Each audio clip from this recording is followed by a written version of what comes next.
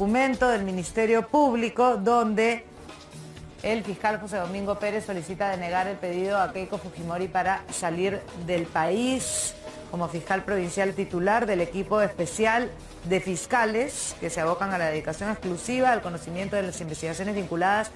a delitos de corrupción de funcionarios y conexos en los que habría incurrido la empresa Odebrecht y otros. El primer despacho ha pedido entonces, a partir de haber conocido este, esta solicitud por parte de la abogada Juliana Loza, presentada en un escrito con fecha de ayer 12 de mayo, que solicita la autorización para viajar a Ecuador. Dice entonces que esto formula oposición a la salida del país de la acusada Keiko Fujimori Iguchi. Entonces es eh, con, su, con el sustento respectivo que el fiscal José Domingo Pérez indica que, esta, que este pedido de la abogada formula oposición a la salida del país de la acusada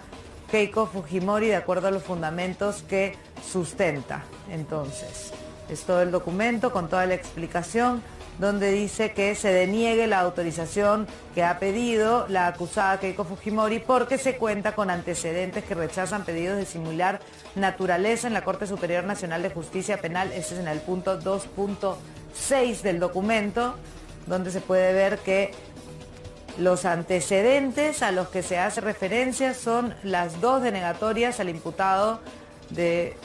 en el caso de Martín Vizcarra Cornejo, para salir de Lima a fin de hacer actividades de campaña política y por motivos personales como constan en resoluciones también que se mencionan en este documento. El fiscal José Domingo Pérez entonces solicita que no se le dé este permiso que la abogada ha presentado, Juliana Loza, al